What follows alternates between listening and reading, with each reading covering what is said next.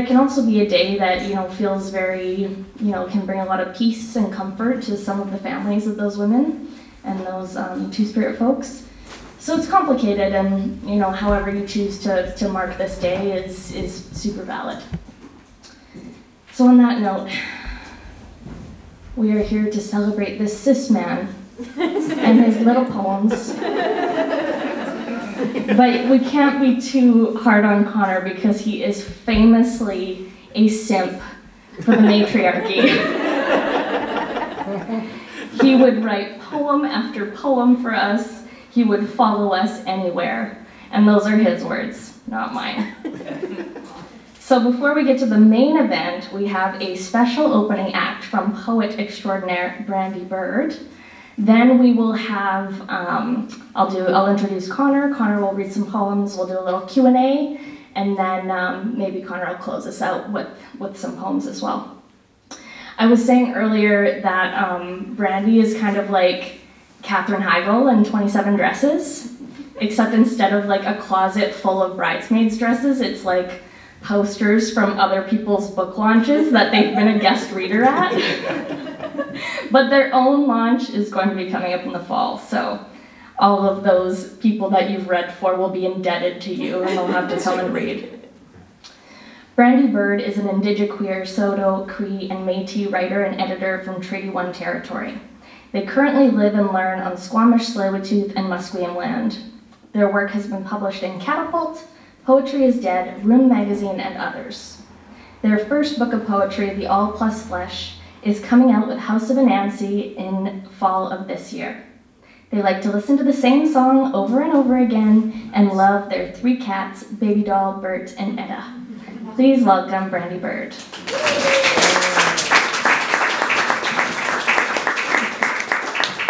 Thank you for that, Molly, and thank you, Conor, for uh, inviting me to read. It's a real honor. Like, Conor's such a he's he's a good guy, you know.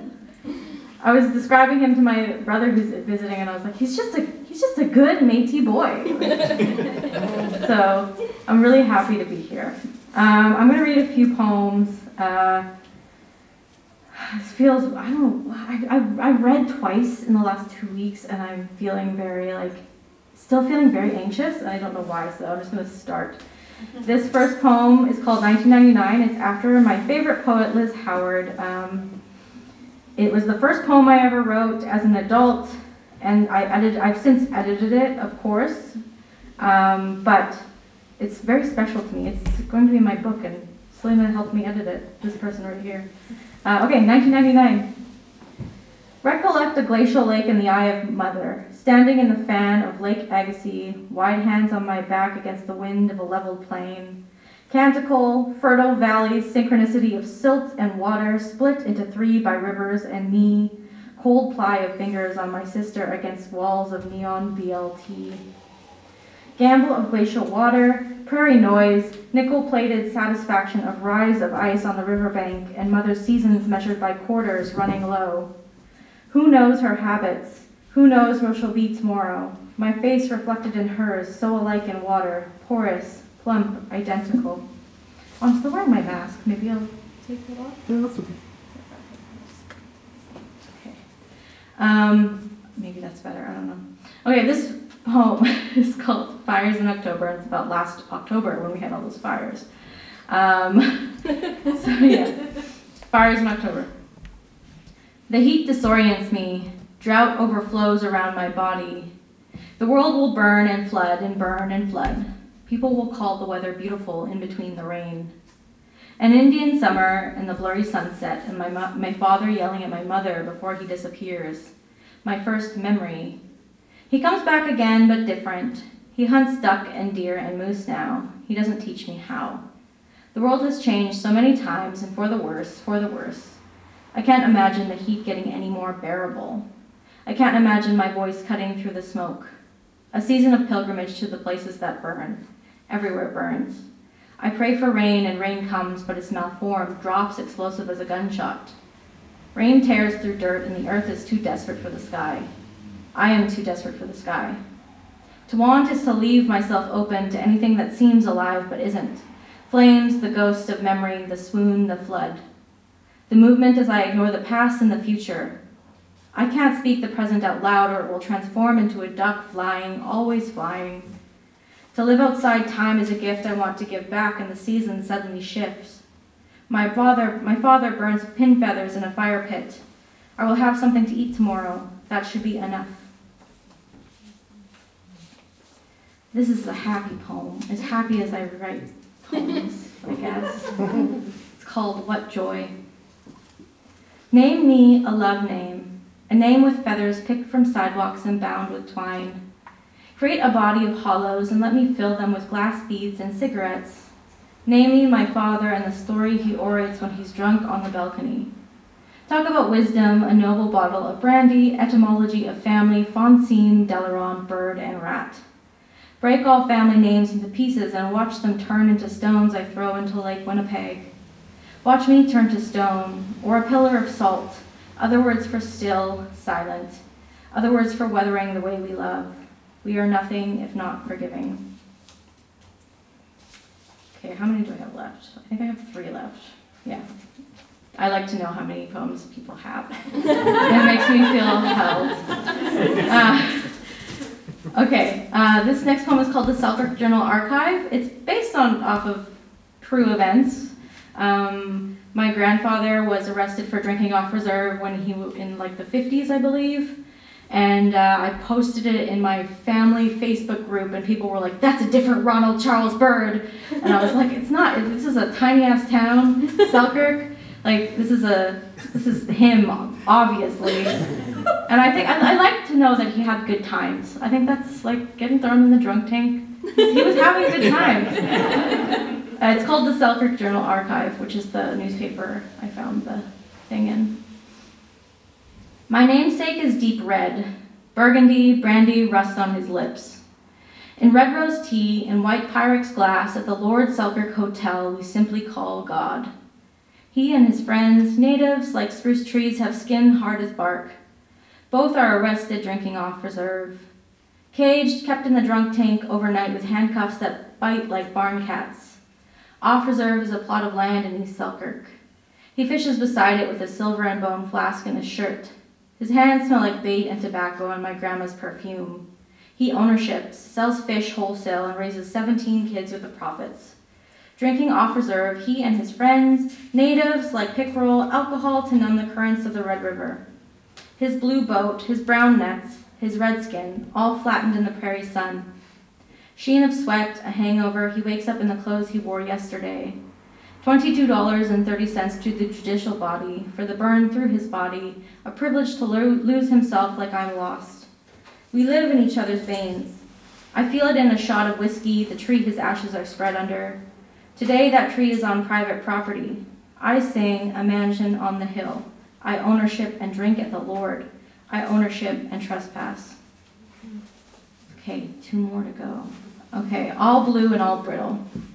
All blue and all brittle. A girl can fit inside a fist. I was curled up in one in ammonite found on Pine Creek First Nation. In a field of canola, in a graveyard on the res, in a glass bottle. I could be 16 again. Pray my eyes bloodshot, look directly at God or the sun, except I never really believed in anything but my own needs. I want to be held by someone fuller than I am. Hold on to what I have like my mother's hand and my bony jaw.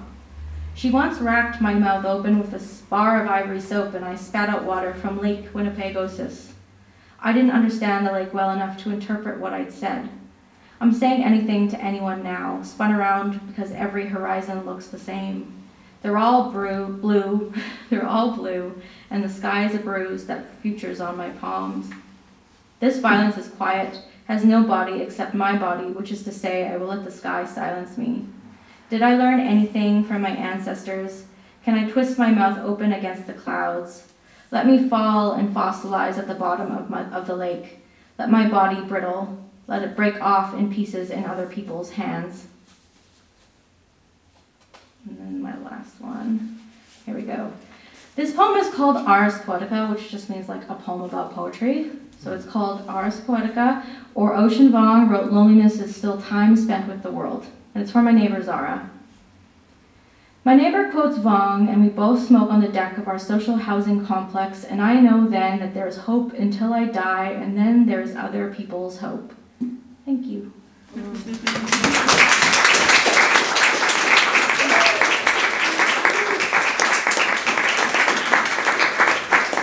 Thank you. I've definitely used Ars Poetica in a sentence before, but I never knew what it meant until like 15 seconds ago. you can catch Brandi at uh, another book launch uh, next week at the Lido. What is it, Wednesday? Yeah. launch of uh, Jen Currin's new book of poetry. Uh, all right. Now I would like to introduce Conor Kerr by reading the blurb that I was very honored to write for his book jacket.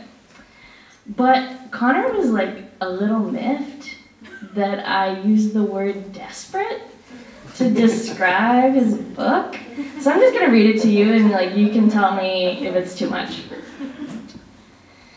Old Gods offers up an unabashed, desperate, almost destructive nostalgia for the kind of life that has you sweating and grunting, paying attention to your body and how it moves through the natural world. The desperate kind of life that still sometimes exists on the prairie when you're whiskey warm on the back bench of the Greyhound's midnight run, or desperately driving an old beater down the highway and there's no one around except the desperate coyotes, their deer, and the desperate moon. Don't look at your books, this is word for word. when at any moment you might have to strip yourself of modernity and bullshit and desperation to become more animal, more honest, more desperate. when I was writing this blurb, I was home in Saskatchewan and I, I read it to my mom and I was like, What do you think? And she said, Well, did you like it? And I said, What do you mean? I, I loved it. She's like, Well, you didn't actually say that you liked it. So here I am, Conor, to say that I desperately loved this book. I'm not going to read your bio because I think everyone here knows who you are. So, the man who needs no introduction, Conor Kerr.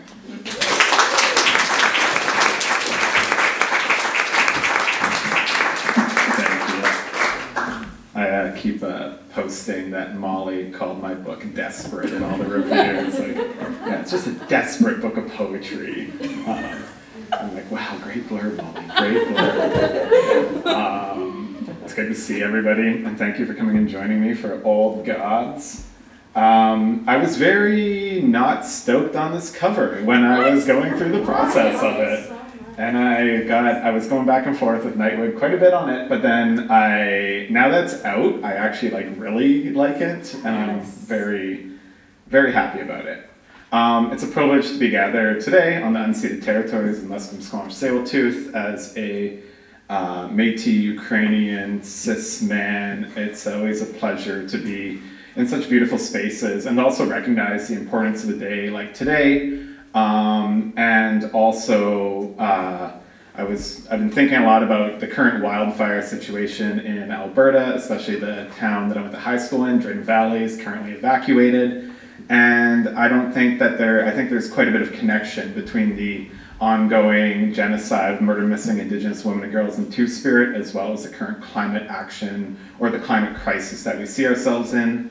And it's very proven at this point that those are very interconnected things with the uh, violence that's continuing to happen, whether that's against the earth or whether that's against uh, women, two spirit people, and children. So I think being in a beautiful space like this, seeing this art display, and learning more, and also continuing to call on governments of all forms, as well as on all everywhere you work, to start actually looking into the Murder Missing Indigenous Women and Girls and Two Spirit Calls to Justice, which was released in 2019, is a very important thing for all of us to consider and do as we move forward.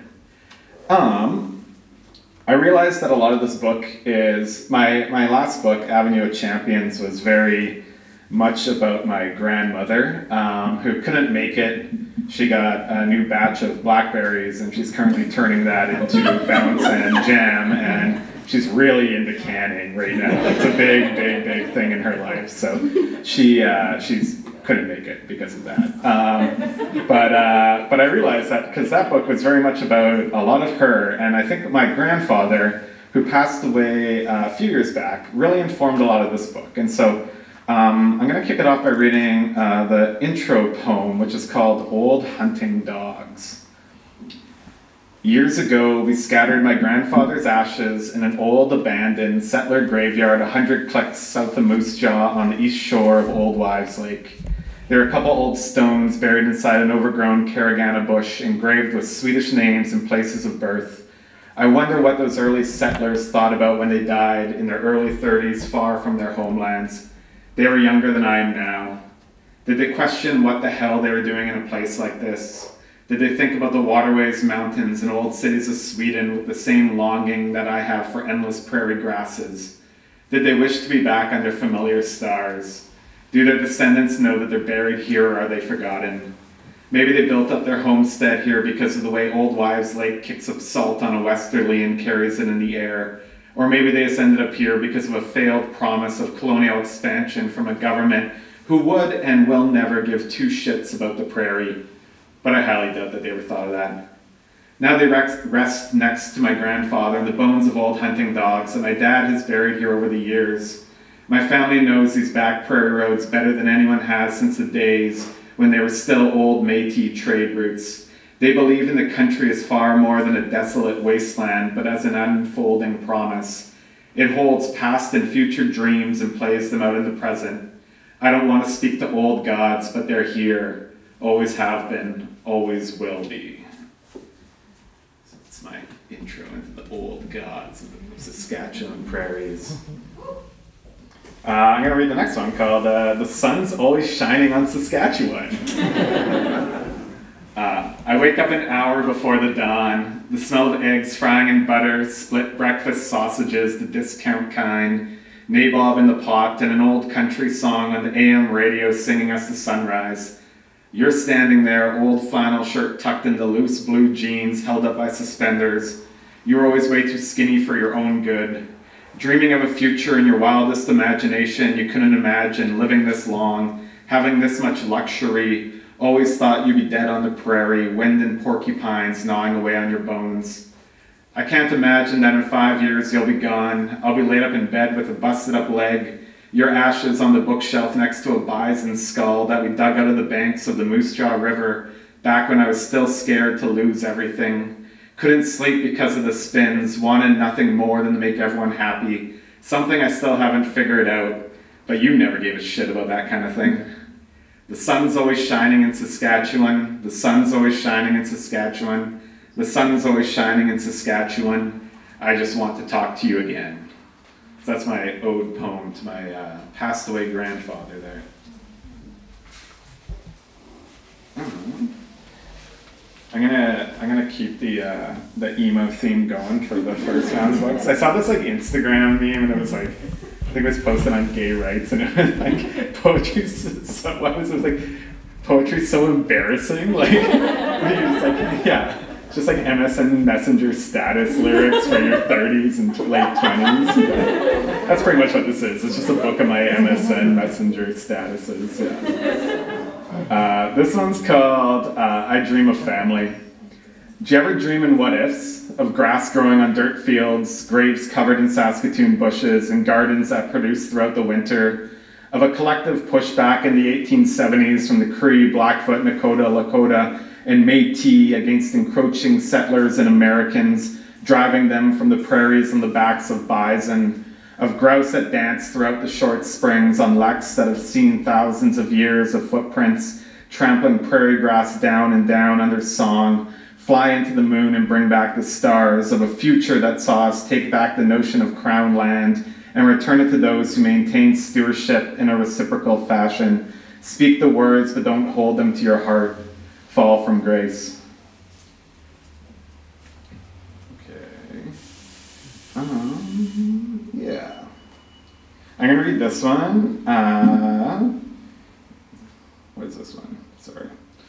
This one I wanted to read for, for Brandi and Molly. Um, You have the same favorite poem? No, but it's about an ode to graduate studies. It's also goes out to the UBC people as well because, yeah, it was just uh, um, uh, I thought it funny because Molly and I did the same MFA at UBC, though I was in the optional residency one, and then Brandi's just entering that same MFA right now. But um, fortunately now they have Professor Billy Ray Belcourt to guide guide through that process. Um, so this is called an Ode to Graduate Studies. The end result of an MFA is the idea that writing is fucking stupid. Everyone sees it differently, but you do it anyways because, hell, what do you have to lose? I don't see the veins of poems the way my friends do. I just blab on and on about nothing in particular. A skill set for the small talk that isn't available in a workshop but can be sweated out at the bar. I'm a conversation, a first date icebreaker, a scared 30 something white coated Metis poet trying to keep up with turning language and thought into something decipherable. Spelled that wrong. For others' enjoyment. I don't have an audience except the early morning birds, skunks, porcupines, coyotes, and Labrador retrievers that greet the sunrise with me every morning. Wanna ska, motherfuckers? All right, I'll do I'll do one more. Um, this I wrote for my friend Emily Riddle, who's uh, a great poet in her own right. Uh, she lived in Vancouver for a while, but now she's back in uh, Misquachee, Waskahegan, and Treaty 6 territory. And she's helped me a lot with editing poems and books and just gossiping about the drama of a literary world. Uh, it's called Wishing on a Walleye. I flick a hockey bro lighter and read your texts about the nuance of Elder's story Put said lighter to sage, sit and smoke, start peeling the label back to expose the lighter's white beginnings, and wonder what party I stole this from back in the day. You run circles on old fur trade stomping grounds to bring warmth back in the body. I like to think you're just imprinting more footsteps on the land so the ancestors know that you've returned home. Your own call out to their story, love radiates throughout the land.